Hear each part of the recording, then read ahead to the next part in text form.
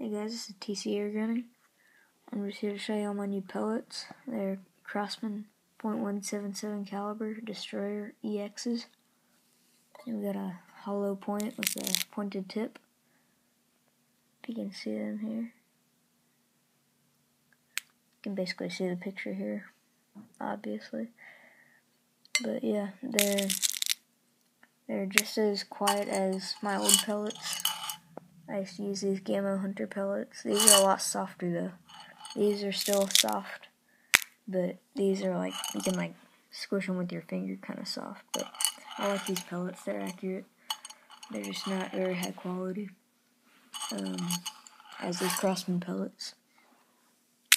Um, these are just as quiet as the Gamma pellets, just as accurate, maybe more accurate. But I, I really like them.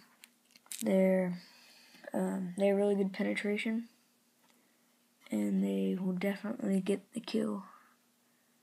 So, thanks for watching. Like and subscribe. Thanks.